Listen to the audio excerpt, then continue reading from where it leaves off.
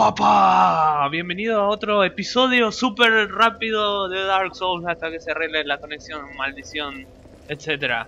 Bueno, nos habíamos quedado acá, teníamos que ir a buscar el... eh, ¿Cómo se llama esto? El cetro de hierro incandescente. Oh, sí. No, no soy yo, no soy yo, no se está refiriendo a mí. Eh, pero, antes de hacer eso, vamos a tener que hacer un pequeño detour hacia otro lado.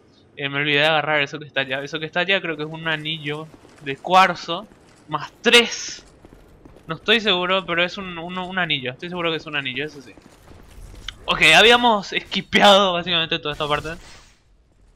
Eh, por el apuro. Eh, no hubo ningún set de movimiento mostrado el episodio pasado, pero ahí lo vieron, uno y dos. Y el fuerte sería este, que lo mató de uno directamente, pero te gasta estamina al hacer esto. Ok, nosotros venimos de allá arriba, nos habíamos tirado como un, como un campeón me tiré ahí. Y ahora vamos a ver que estos son, eh, quizás sean plebeyos, o sea, no sé, o, o gente que vivía acá a los alrededores, o mejor dicho, trabajadores. De... Esta tipa se cayó. Esta tipa se cayó de allá arriba. ¿Me das algo? No. Eh, que... Eh, al parecer pasó algo bastante... algo parecido a... A quizás a enlazar... Eh, cuando uno enlaza, se enlaza con la llama. Todo alrededor se vuelve eh, cenizas, básicamente. Hay que tener cuidado con eso. Eh, quizás algún efecto pasó por acá. Algo parecido, quizás fue culpa de Nadalia, de hecho. Eh, ¿qué tenemos por acá? Acá no tenemos cosas muy importantes que digamos, pero lo vamos a hacer para mostrar. Son solamente almas de héroes. Y este supongo que es el alma más grande, el alma de gran héroe. Ok. Esa supongo que no nos va a molestar. Ahora, ¿qué vamos a hacer? Vamos a venir por acá, van a ver esa gran cadena que está ahí. Vamos a ir por ahí, van a ver la oscuridad. Eh, en realidad no es texturas que no se cargaron, de hecho es súper oscuro ahí. Por cierta razón. Eh, la maldición de Nadalia. A ver, piedra básica. Ah, piedra básica. Siempre me cago de risa la piedra básica. Tenés que equipar tu espada con la piedra básica. No, no quiero. Dame esa piedra de trueno de Dios, es mejor. No, no es tan buena esa piedra. No sé por qué pongo esa voz. Pues supónganse que es el... El herrero ese. Ahora, Maldron el asesino. Es medio como un... Este tipo es eh, medio como un... Eh, homage a un personaje de Dark Souls y Bloodborne y, y Demon Souls también que se llama eh, Patches. Es bastante eh, maldito la forma que pelea. Es... Primero, eh, la lanza que tiene te stunloquea demasiado. A ver, tiene un ataque que va corriendo y te stunloquea varias veces. Pero esa no es la onda con este tipo. La onda es que una vez que llegue a cierto punto eh, de vida, él simplemente va a agarrar y va a correr. Así que lo que vamos a intentar acá es que no lo haga. Y lo hizo. Y encima esta fue mi segunda oportunidad para grabarlo. Y, también esta. Pero no me salió. de hecho, la primera vez que grabé esto, el resultado fue exactamente el, exactamente el mismo. Porque también quise dispararla el, con la flecha, pero se quedó trabada en la, en la ceniza. Vamos a abrir esto. Esto, de hecho, no hay nada muy importante acá, pero la onda es que el tipo ese estaba escondido ahí y estaba como... Bueno, Aqua de la Adversidad es más o menos, ¿verdad? Es un objeto para, no sé, para eh, farmear cosas. Eh, pero el, cofre estaba ahí directamente para, hacer una, para jodernos. Para eso nada más. Eh, ok, entonces vamos a bajar. ¿Cuál es la onda acá? ¿Cuál es la onda con el humo este? El humo este, el humo negro, te, eh, te causa daño de, mal, de maldición. O sea que eh, después de cierto punto me voy a convertir en no muerto, en hollow, en zambambo, como quieras. Así que la onda acá es correr como un tarado, ignorar a todos los enemigos, porque hay un catalizador que hace esto. El catalizador es una, es una de las, eh, es uno de los ídolos de Nadalia.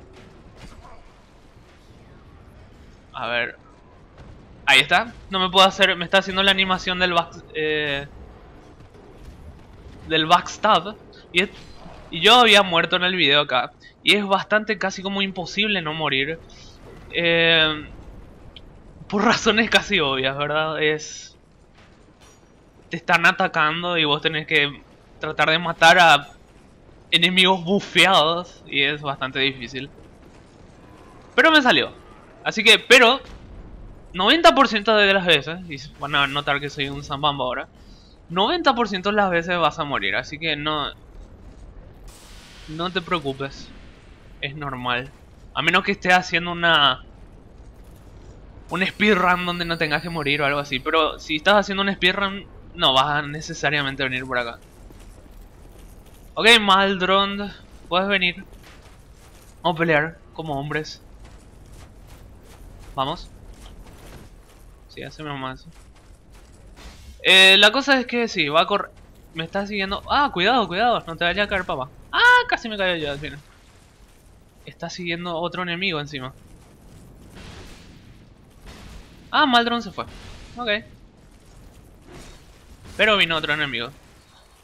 Hicieron el relevo australiano y me caí. Pero no me caí. No me caí. Por alguna razón no me caí al fin del mundo. ¿What? Ahí me morí. Efecto de caída. Me gusta la animación de cuando te morís cuando te caes. Te agarras la panza. ¡Ay no, mi panza! La gravedad no puede aguantar eso. Ok. Vamos a ir otra vez. Esto vale como si hubiese muerto en el... Ah, otra cosa. No se preocupen por el lo que tira Nadalia. Su alma. Sería un fragmento de su alma. Porque eh, se queda ahí para siempre. Así que tranquilos. No pasa nada. Voy a ir a agarrar el anillo ese. A ver. Cuarzo de hechizo. Ok. Acá a la gente le gusta traer sus anillos. Eh, el cadáver ese será algún carroñero, no sé. Eh, o sea, algún carroñero, entre comillas, de hierro. Eh, pero al final murió, se resistió a Nadalia. Ah, a ver, no, nada interesante. Se resistió al hechizo de Nadalia y terminó muriendo. ¿Saben qué? Estuve pensando en qué son esos, entre comillas, cadáveres que nosotros encontramos. Por ahí no sean cadáveres, por ahí sean, estén funcionando físicamente, pero no mentalmente. Tipo alguien como que está en coma. ¿Por qué? Porque nosotros estamos eh, en una era donde la oscuridad es más grande que la luz. Y yo... Eh, ah, no, no. Eso, eso lo dije en el video que nunca salió. Em, como la oscuridad es más grande que la luz. Eh, y la oscuridad está más asociada con lo físico, la parte física del humano y de las cosas en sí. Eh, te vas a ir ya. Así tan rápido. A ver si lo agarro yo. Voy a poner más hacia acá. No, no lo agarro. Vamos a dejarlo ir. Eh,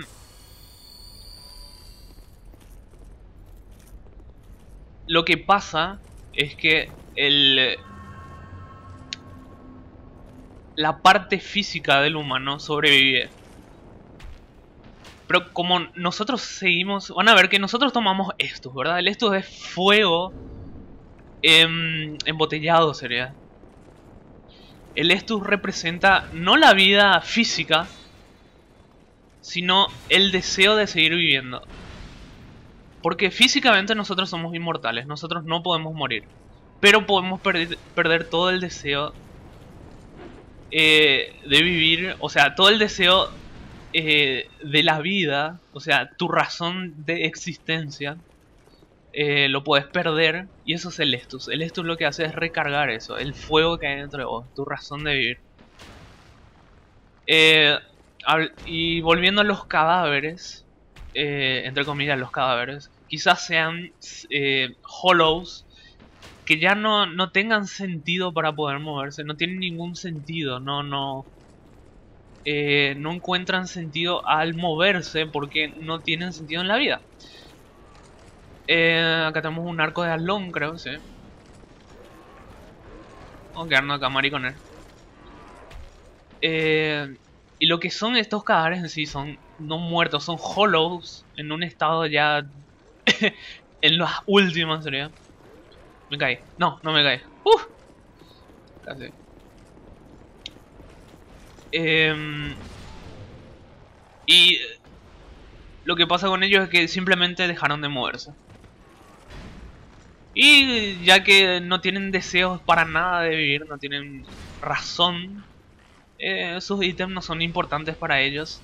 Entonces se los puedes sacar. Ponele. O se los robas por ahí. Ese que está ahí, ponele que todavía está vivo, pero ya no, no tiene más razón. Y a lo último, si es que nosotros decidimos eh, seguir con la era de oscuridad, eso es lo que va a pasar tarde o temprano con todos los humanos. Van a quedar ahí eh, mínimo deambulando, como dicen las viejas al principio, sin saber realmente por qué. Y ese es el destino de todos los humanos, tarde o temprano, hasta que un elegido viene y dice, no, mejor no. Mejor vamos a extender la era de fuego, vamos a seguir, vamos a dar otra oportunidad al ser humano. Pero tarde o temprano la, el fuego se va a extinguir otra vez y va a tener que aparecer otro elegido y todo se va a repetir y a repetir y a repetir. Ahora van a ver el título del DLC, no es el DLC, sino de la versión expandida del Dark Souls, el Scholar of the First estaba hablando de ese ataque hace un rato. Ese es el que te stunloquea como loco.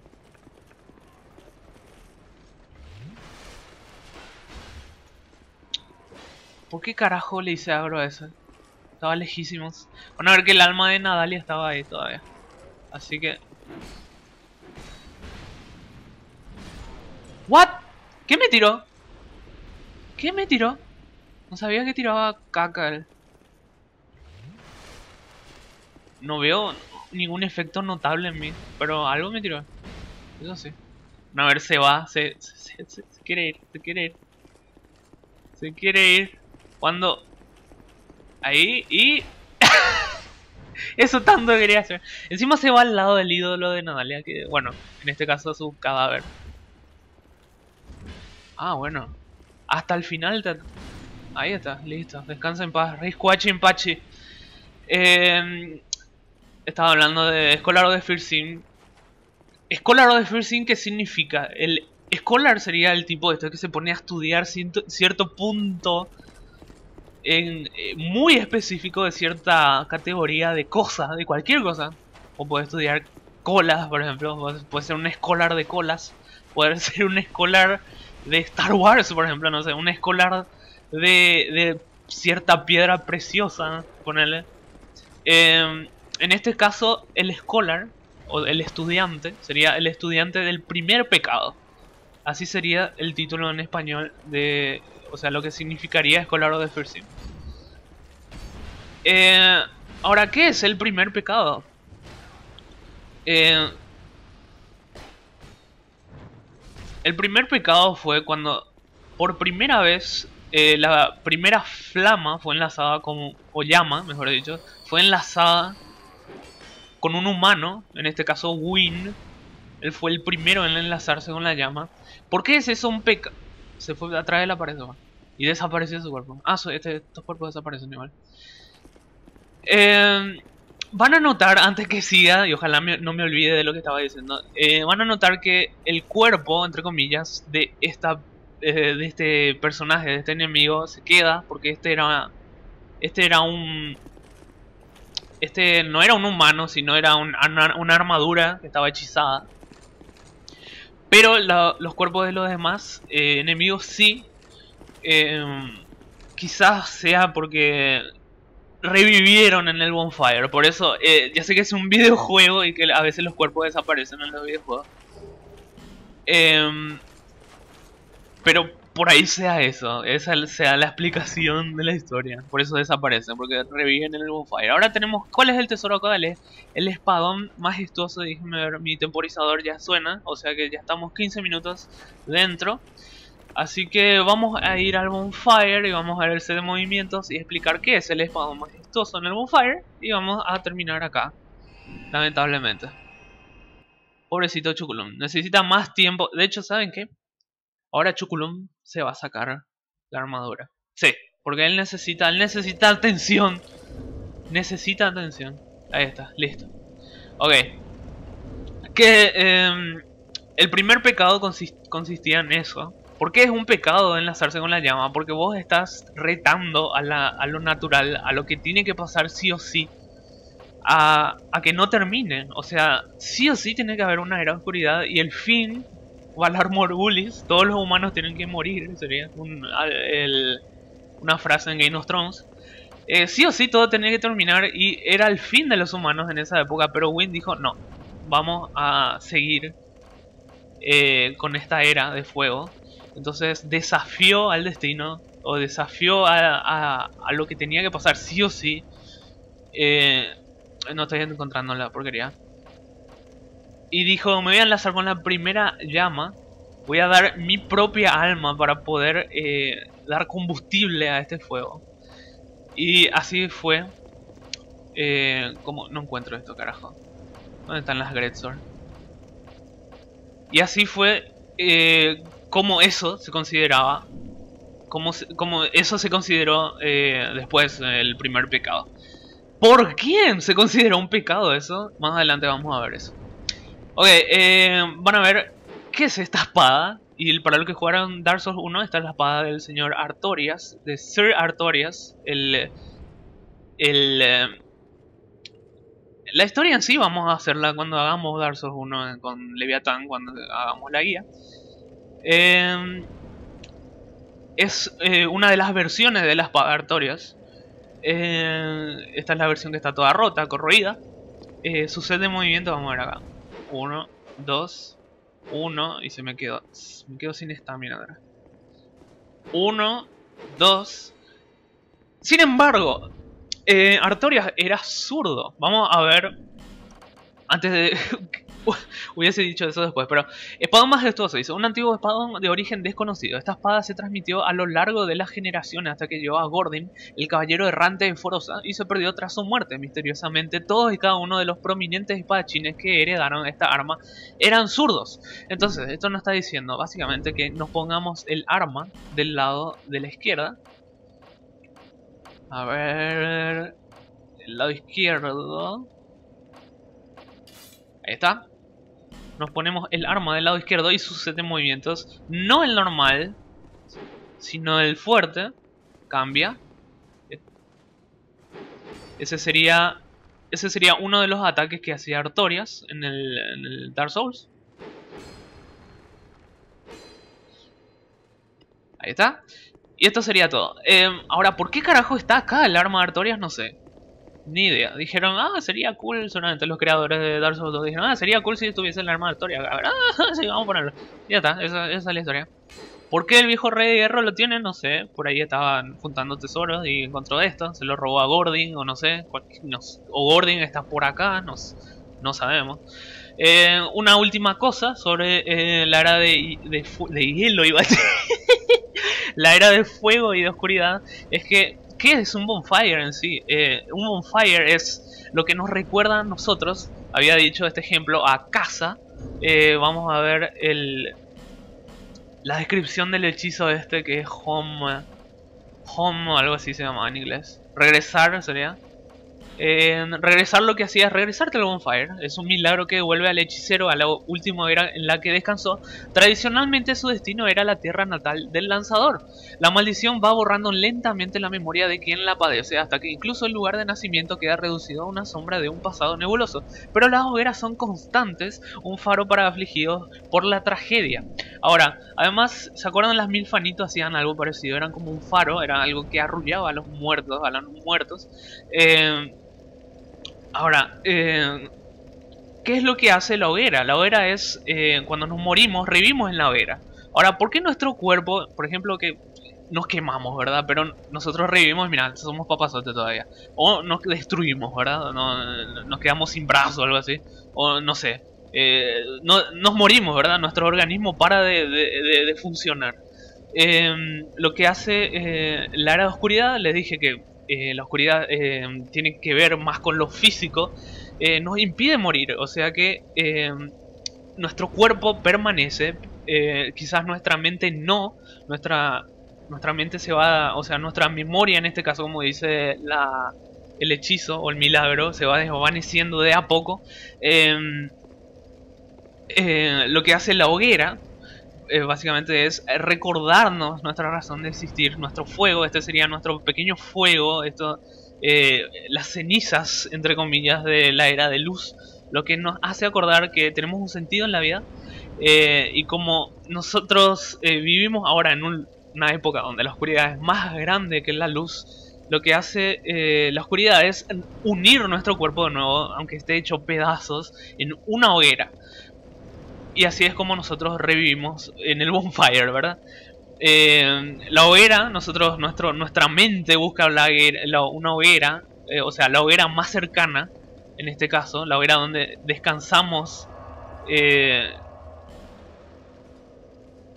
porque eso es lo que más nos hace acordar a, nuestra, a nuestra casa, entre comillas. Pero esto eh, es una representación de nuestra misión central, la hoguera. Por eso es que nosotros siempre revivimos en la hoguera. Y por eso es que nuestro cuerpo nos está hecho mierda cada vez que eh, regresamos a la hoguera. Sí, la maldición se hace más y más grande cada, eh, vez que morís. Perdés tu humanidad eh, eh, perdes tu razón de vivir, quedas hecho una carcasa, hecho mierda. Siempre y cuando no se termine no se termine la, las efigies humanas, vas a ser un papazote, una mamacita. No, no tanto como Chukulum, pero solamente vas a hacer algo algo cercano. No tan cercano, no, no te vas a acercar tanto, pero sí. Ok, y terminamos así con este episodio, me pasé un poco charlando. Eh, hasta el próximo episodio de Dark Souls, vamos a ver si se soluciona esto de la conexión. Alguna vez van a venir los técnicos a reparar los cables acá después de la tormenta esta de mierda que hubo. Así que, gracias por seguir mirando igual los que miran. Y los que no miran, gracias por no mirar. no sé, no sé, no está bien. Pero basta de alargar las cosas. Eh, Leviatán se la recontra come. Hasta el próximo capítulo. Voy a hacer una reverencia ahora.